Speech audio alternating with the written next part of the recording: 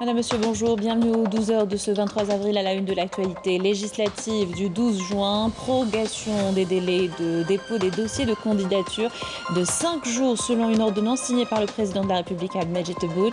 Les détails du président de l'ANI dans quelques instants.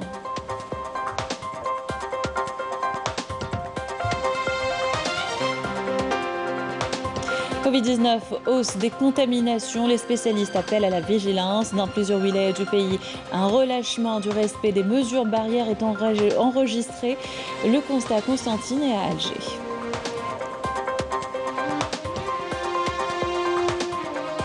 Le bio et les produits du terroir connaissent un engouement. Fromage, huile d'olive et toutes sortes de préparations sont proposées, notamment durant le ramadan. Zoom dans ce journal sur une boutique spécialisée à Oran. Bienvenue à tous. Euh, je vous disais, un titre législatif du 12 juin, prorogation des délais de dépôt des dossiers de candidature de 5 jours, selon une ordonnance signée par le président de la République, Abdelmejid Tebboune. Le dernier délai est désormais fixé au 28 avril, selon l'autorité nationale indépendante des élections. Les détails avec Amel Boarba. Les postulants aux législatives du 12 juin 2021 ont un délai supplémentaire de 5 jours, soit jusqu'à mercredi prochain, pour déposer leur dossier de candidature. Cette prolongation est venue à la demande de l'autorité nationale indépendante des élections et après consultation du Conseil d'État et du Conseil constitutionnel et avis du Conseil des ministres. En raison du nombre important des dossiers de candidature, des partis politiques et des listes indépendantes que nous avons reçus et des postulants désirant déposer les formulaires de signature, nous avons soumis une demande au président de la République pour une prolongation des délais de dépôt. Une demande à laquelle il a répondu favorablement, d'autant que nous veillons à réunir toutes les conditions pour la réussite de ce rendez-vous électoral.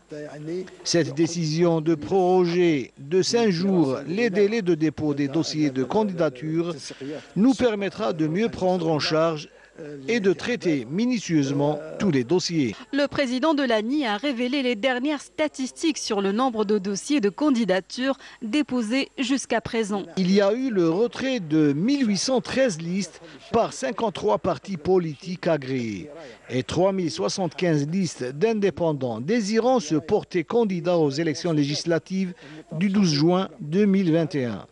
Jusqu'à présent, 747 dossiers de candidature ont été déposés au niveau national, à travers 58 wilayas, dont 22 partis politiques et 265 listes d'indépendants. En revanche, à l'étranger, 15 dossiers de candidature ont été déposés par 9 partis politiques. Mohamed Sharfi a affirmé que la prolongation des délais de dépôt des dossiers de candidature n'aura pas d'impact sur l'opération électorale. Il faut savoir que la prolongation des délais de dépôt des dossiers de candidature n'aura aucune incidence sur le déroulement de l'opération électorale dans les délais fixés pour le 12 juin 2021 et sur la tenue de la campagne électorale qui durera comme prévu 23 jours. Conformément aux conditions à remplir par les partis politiques pour la validation du dépôt des listes de candidatures fixées par l'ANI, les listes des candidats présentés au titre d'un parti politique doivent être appuyées par au moins 25 000 signatures individuelles d'électeurs inscrits sur les listes électorales. En revanche, pour les listes indépendantes, chaque liste doit être appuyée pour chaque siège à pourvoir par au moins 100 signatures des électeurs de la circonscription électorale. Covid-19, hausse du nombre des contaminations ces derniers jours. 189 cas enregistrés hier. Un bilan amené à augmenter à cause du non-respect des gestes barrières. Le constat à Constantine est le même dans la capitale. Amina Ben Bartouche, commentaire Adel Bouhamis à voir ces scènes dans les artères des grandes villes du pays, dans les marchés et dans les moyens de transport en commun, rien ne laisse croire que nous sommes encore en pleine pandémie qui endeuille toujours les familles algériennes. À Constantine, à titre d'exemple, un laisser-aller et une négligence totale des mesures barrières sont constatées. Et chacun explique cela à sa manière. Il n'y a plus de corona. Ça fait un bon moment que j'ai arrêté de mettre ma bavette. Les gens, quand ils ont vu le nombre de personnes contaminées avait diminué, ont baissé la garde. Pourquoi mettre la bavette quand on voit 200 personnes à bord du tramway alors qu'il est censé n'en transporter que 20 voyageurs? Ils pensent que le virus, c'est de l'histoire ancienne. Mais la réalité est tout autre. Une petite virée au service Covid de l'établissement public hospitalier Hafid Boujma fera changer d'avis à tous ceux qui ont cru un instant que le coronavirus n'était plus d'actualité.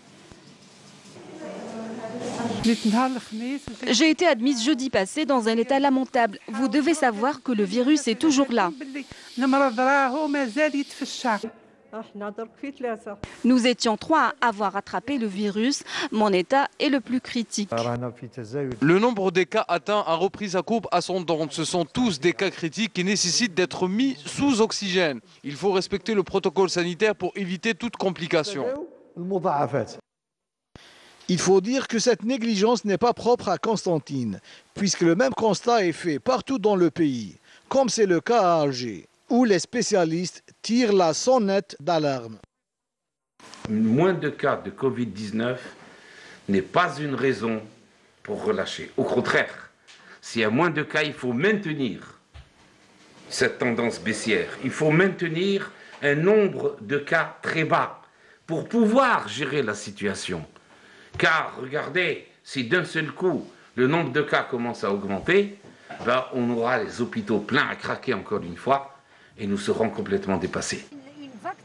Les Algériens sont appelés donc à redoubler de vigilance avec l'apparition de nouveaux variants du virus et surtout avec l'augmentation du nombre des cas atteints par une pandémie qui endeuille toujours les familles algériennes.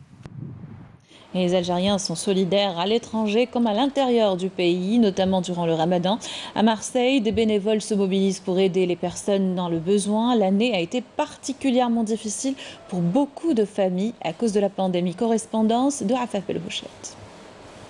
Tels des abeilles dans une ruche, ces bénévoles de tout âge s'activent sans répit. Ça coupe, épulche, mélange, tout y font mijoter, libérant ainsi des arômes qui nous transportent dans les cuisines de nos mères. Et c'est Fadila qui veille à tout orchestrer d'une main de chef. Tous les jours, on pense euh, au début. On vient à 8 heures, on, on prépare le menu pour aujourd'hui. Après, on prépare le menu pour demain. S'il manque quelque chose, il y a des gens bénévoles qui font les courses. Ces personnes-là, elles sont bénévoles, elles viennent travailler, fils bien sûr, parce qu'elles savent que l'importance de Ramadan a sa baraka. Euh, ça, a, euh, Ramadan, c'est particulier, subhanallah. On ne pourrait peut-être pas faire ce qu'on est en train de faire euh, en dehors de Ramadan. En effet, le menu est adapté à la maïda algérienne du mois béni et c'est sa chaleur et son esprit de partage que ces bénévoles tentent de transmettre aux plus démunis au-delà d'un simple repas chaud. Ce que vous voyez là, c'est... Euh, j'allais dire c'est une cohésion de groupe, c'est une cohésion de plusieurs structures d'habitants qui ont rejoint ce lieu-là. Ici, c'est le cœur nucléaire qui permet euh, j'allais dire, de donner de l'entraide, de la solidarité et euh, de l'humanité. Des équipes organisées en groupes de dizaines à trentaines selon les tâches à accomplir, collecte de dons, cuisine, courses, livraison. Ils assurent des kits alimentaires pour l'ensemble du secteur nord de Marseille, soit 25% de la population de la ville. Un secteur qui concentre les plus grandes poches de pauvreté que la crise sanitaire a accentuées. On partait sur 20, 50, 80, 100 repas et ça augmente de jour en jour. Hier, on était sur plus de 240, 236, pardon. Aujourd'hui, on est sur 500 et ça augmente tous les jours. On est passé de la précarité à la pauvreté. La, crise sanitaire a provoqué une crise humanitaire ici en France.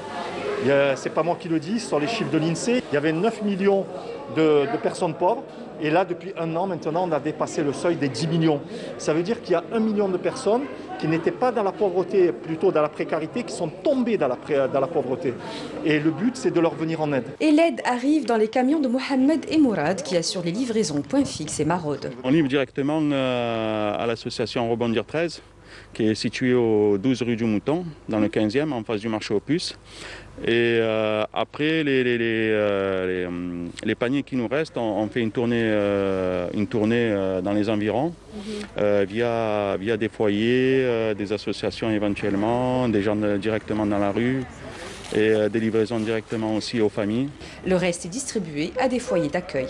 Il y en a une vingtaine ou trentaine qui n'ont pas eu leur, repas. leur repas. Donc ils sont partis bredouille. Donc le moindre chose que j'avais, que j'avais que des baguettes que j'ai données.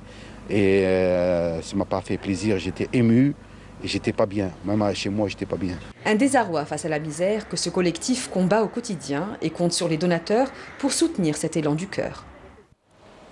Ce chiffre, à présent, pas moins de 9 tonnes de pain ont été gaspillées depuis le début du ramadan. Et il ne s'agit que des quantités collectées par les services de Netcom. Ce gaspillage a un coût important. Le soutien apporté par l'État s'élève annuellement à 1,2 milliard de dollars. Benrassi. Les Algériens consomment pas moins de 50 millions de baguettes de pain par jour, dont 10 millions sont jetés à la poubelle. Le montant du gaspillage de cette denrée alimentaire de base avoisine, tenez-vous bien, les 340 millions de dollars annuellement. Durant le mois de Ramadan, le gaspillage atteint un autre record. Il avoisine les 13 millions de baguettes qui finissent souvent dans les bacs à poubelle. Durant le mois de Ramadan, les envies sont nombreuses. Les consommateurs ne se contrôlent pas. Ils achètent toute variété de pain. Durant ce mois, le gaspillage atteint des records. Les gens achètent et ne consomment pas. Lorsqu'on voit le pain sortir du four, on a des envies et on achète 8 à 10 baguettes en fonction de la famille. Souvent, durant le mois de Ramadan, le consommateur est attiré par la variété de pains proposés par les boulangers. Les choix sont tellement multiples que souvent, le jeune homme succombe au parfum et forme de la baguette et de la galette. Nous devons faire un travail de sensibilisation sur le gaspillage en direction des consommateurs et parler de l'importance de ce produit alimentaire.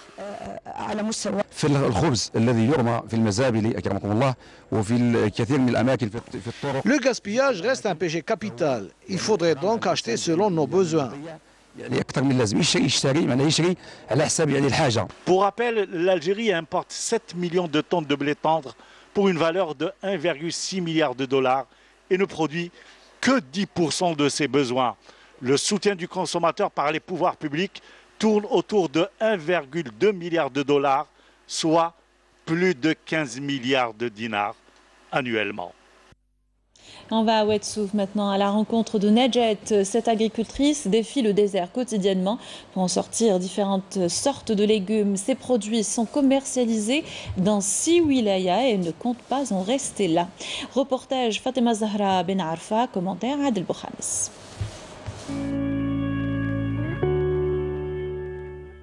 Adbila dans ce petit patelin en plein milieu du désert de Wetsouf, Najet, cette agricultrice a réussi à transformer ce bout de désert en terre cultivable.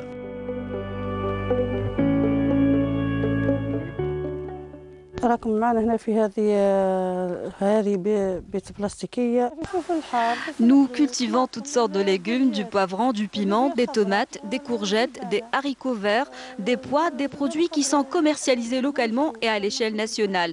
Bouira, Djidjel, Msila et Djelfa, entre autres.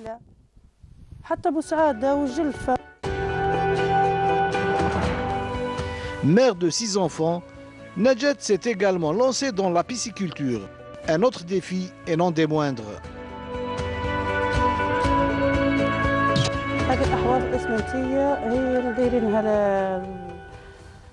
Ces bassins sont consacrés aux alevins.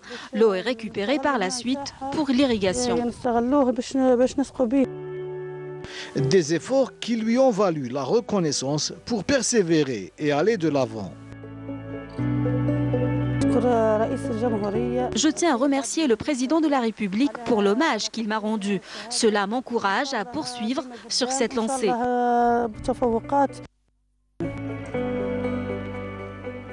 La persévérance de Najet a donné ses fruits. Elle a montré ainsi qu'avec le travail et la détermination, tout est possible. Un reste dans la production locale. Les produits de notre terroir sont riches et nombreux. Le bio est de plus en plus demandé et apprécié. Fromage, huile d'olive et toutes sortes de préparations qu'on peut trouver dans une boutique à Oran. Sim Skandar nous fait la visite. Une dizaine de sortes de fromages, des huiles d'olive et plein d'autres aliments du terroir. Produits dans les quatre coins du pays, leurs points en commun, ils sont bio et naturels. Nous avons une grande variété de fromages naturels qui viennent de partout dans le du territoire, algérien. Donc, euh, par exemple, ce fromage qui vient de Boussaïda, et on a ce fromage qui vient des hauteurs de, euh, et on a ce fromage qui est fait par un artisan fromager euh, qui vient d'Oran. Une initiative qui rencontre beaucoup de succès, tant manger bio est à l'air du temps. On est bien accueillis, c'est propre, et on trouve des produits qu'on ne trouve pas ailleurs. Là, Originaux. Bah, aussi bien les fromages que, bon, à certaines époques de l'année, il y a des très bonnes euh, figues sèches qui viennent pas de Turquie, et j'apprécie. Et puis il y a des confitures, il y a plein de produits. euh, Et à chaque fois, c'est une découverte. J'essaye un produit différent. Donc, c'est bien. صدقني كنت كل يوم نتمنى نلقى هولندي ولا هولنديه جات مراه وراجل هنايا باللحيه سمعتهم يهضروا الله يرحم بوك هذه منين قال لي هولنديه قلت له ودي نعرض عليها دوختها لي فروماج كل سيمانه يجوا يقضوا الفرماج منها Euh, Il y a du fromage, c'est plus traditionnel, c'est plus artisanal, c'est plus euh, la production al- algérienne, le territoire algérien, pour encourager aussi le- les produits du terroir. Donc, euh, on va dire que c'est partout dans le territoire algérien, on trouve euh, toutes sortes de fromages. Un produit local de qualité qui pourrait être une aubaine pour l'économie nationale. À l'étranger, l'ONU a tenu une réunion sur le Sahara occidental sans résultat. Lors des interventions à cette réunion, la Russie a condamné la décision de l'ex-président américain Donald Trump de reconnaître la prétendue euh, souveraineté du Maroc sur le Sahara occidental et a demandé aux États-Unis de l'annuler. Le Kenya, lui, a défendu la médiation de l'Union africaine. L'Irlande a affirmé son plein appui au droit du peuple sahraoui à l'autodétermination. On termine avec euh, du sport, Jeux olympiques, euh, Jeux pardon, de, olympiques de Tokyo. Premier départ de la délégation algérienne prévu le 19 juillet à partir d'Istanbul annonce hier euh, de la chef de la de mission Hassiba Boulmarqa a dirigé la deuxième réunion d'information du comité olympique algérien. Sid Ahmed Bouraïb. À 90 jours de Tokyo 2020, les préparatifs se poursuivent pour permettre à la délégation algérienne d'être dans les meilleures conditions possibles. 14 fédérations sportives étaient au rendez-vous. Au menu des discussions, les aides financières attribuées aux fédérations et les programmes de préparation.